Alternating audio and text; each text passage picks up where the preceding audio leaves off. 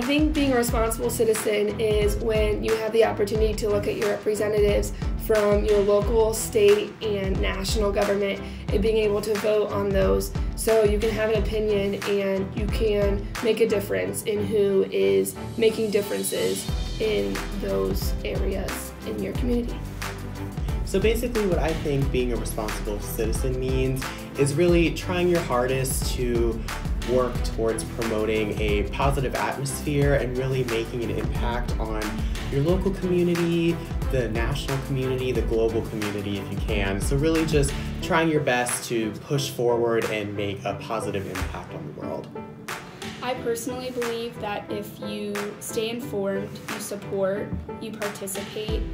and you respect, you are doing all things that imply responsible and active citizenship.